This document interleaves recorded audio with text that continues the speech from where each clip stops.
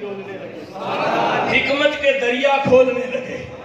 मेरे मुस्तफ़ा फरमाते हैं स्यापा कदम आज भी उठ रहा है।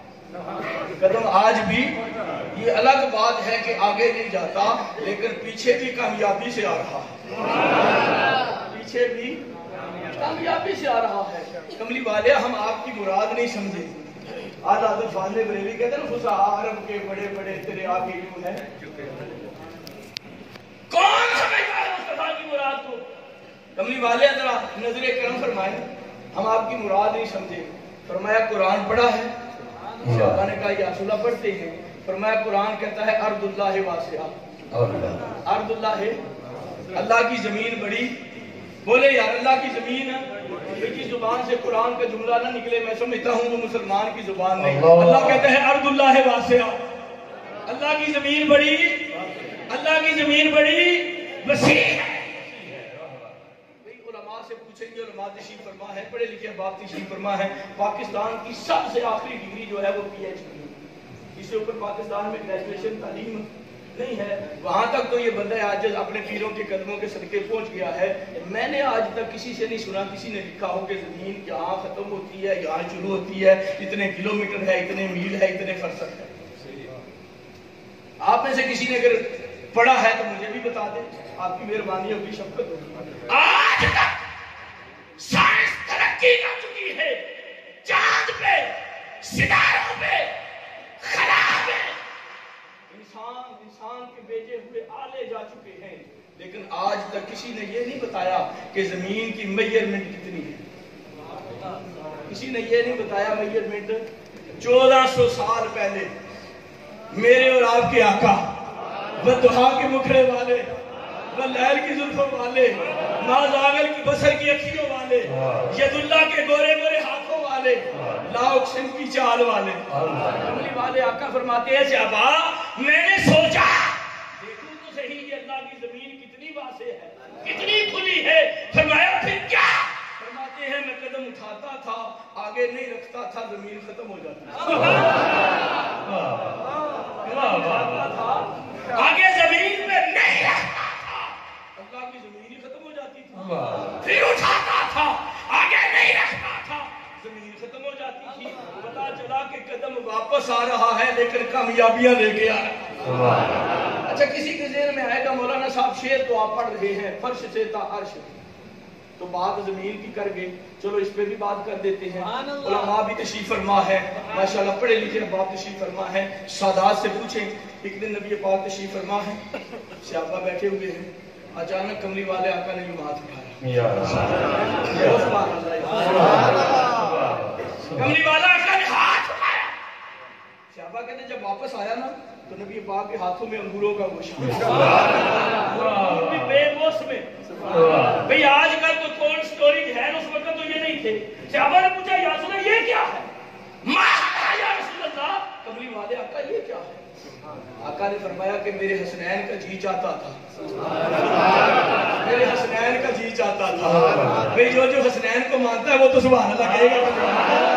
हसनैन के दो नैन पे सौ नैन बेशक मेरे हसनैन का जी चाहता था, कुछ खाने को। मैंने सोचा, क्यों ना उनसे जन्नत के लिए कुछ जन्नत है उसके लिए कुछ अब तवज्जो हदीस आपने सुन ली?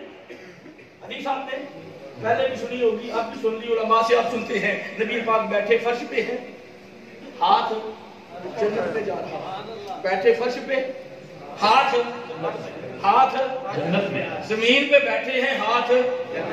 कमरी वाले आका का हाथ जन्नत पे जा रहा है। अब तवज्जो फरमाए, जो कमरी वाले आका को अपने जैसा कहते हैं, जो मुस्तफ़ा को अपनी मिसल कहते हैं, मैं आपके सामने खड़ा हूँ। साढ़े पाँच फुट मेरा कद है, दो फुट मेरा हाथ होगा। लंबे से लंबा कोई बंदा है छह फुट कद होगा, तीन फुट उसका हाथ होगा। इससे लंबा तो कोई नहीं हो सकता। बंदा ज़मीन पे बैठे, हाथ बुलंद करे उसके हाथ की बुलंदी तीन फुट है। ये सैकड़ों की तादाद में बाहर मेरे दोस्त, मेरे शाके मुस्तबा बैठे हैं। जरा इनको बोले ना, निगाह ऊपर दिलाकर देखे, निगाह कहाँ तक जाती है?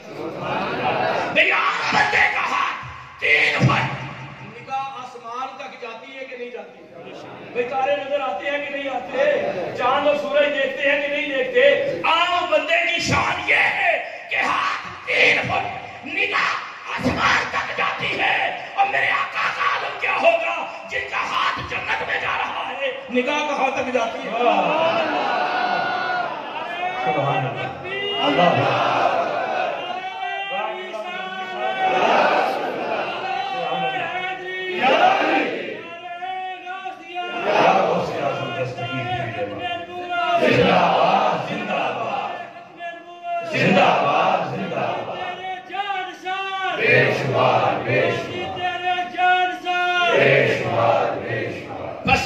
अल्लाह निकाबत से शुरू किया। आप फरमा रहे थे उस जगह की बात कर रहे थे। माँ बई नमिन बरी व बई रोज कुरान की मैंने आयत पढ़ी अल्लाह से मुबिहाद और बलद। ए महबूब मुझे तेरे शहर मक्का की कसम। जिस जिसको ये पसंद है ये वो सुभान अल्लाह। जिसको मक्का पसंद है वो सुभान अल्लाह। जिस जिसको मदीना पसंद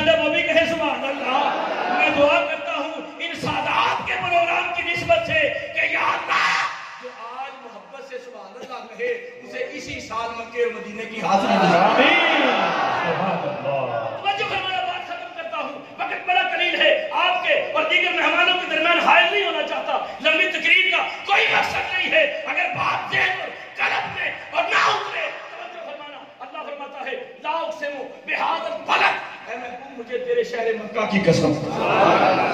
मुझे तेरे शहर ऐ महबूब मुझे तेरे शहर वक्त की बड़ी तफसीरों की बात करता इब्ने कसीर की बात करता रूहुल बयान की बात करता रूहुल मुहानी की बात करता बेशुमार तफसीर की बात करता एक जिस जामिया में मैंने मुफ्ती कोर्स किया है हमारी उस लाइब्रेरी के अंदर 200 तफसीरें पढ़ी हुई और अगर कहूँ तो 200 के नाम सुना सकता हूँ। 200 में से कई पढ़ी भी हुई है सिर्फ़ नाम नहीं जाने। सिर्फ़ एक बात करता हूँ उम्मत के आशिक चीफ जस्टिस जियाउल उम्मत हज़रत पीर मोहम्मद करम शाह आप इसकी तफसीर कैसे करते हैं? फरमाते हैं लोगों सुन लो अल्लाह फरमाता ला उक़सिमु बिहादल बलद ऐ महबूब मुझे तेरे शहर मक्का की कसम। मुझे मेरे तुझे मुझे तेरे शहर। अच्छा मैं खुदा से पूछता हूँ आप भी पूछे या अल्लाह हम तेरे बंदे हैं तेरे आजत हैं गंदे हैं मंदे हैं। हमें ये तो बता तू शहर मक्का की कसम क्यों उठाता है? शहर मक्का की कसम क्या इसलिए उठाता है? यहाँ तेरा घर है। क्या तू मक्के की कसम इसलिए उठाता है? यहाँ मकाम इब्राहिम है। अल्लाह फरमाता अल्लाह से नहीं या अल्लाह फिर मक्के की इसलिए उठाता है कि यहाँ जमजम है।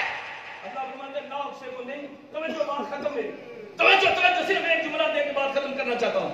या अल्लाह इसलिए उठाता है मरवा है है, मकाम इब्राहिम है निज़ाम हैं से नहीं अच्छा ये अल्लाह फिर तू दाव उठाता होगा ना। यहाँ बड़े बड़े तजारत की मंडियाँ हैं। अल्लाह फरमाते, नहीं। अच्छा ये अल्लाह फिर लिए उठाता होगा ना। यहाँ काबे के बड़े बड़े सरदारों के घर हैं। अल्लाह फरमाते हैं, तुझे समझ नहीं आती? नहीं। अच्छा ये अल्लाह फिर बता, तू ही बता दे कि तू कसम क्यों खाता है? अल्लाह फरमाते हैं, सुन, ला उकसिमु बिहादल बलद ये बात ठीक है कि शहर में मेरा घर है। ये बात ठीक है, यहाँ मक्का है।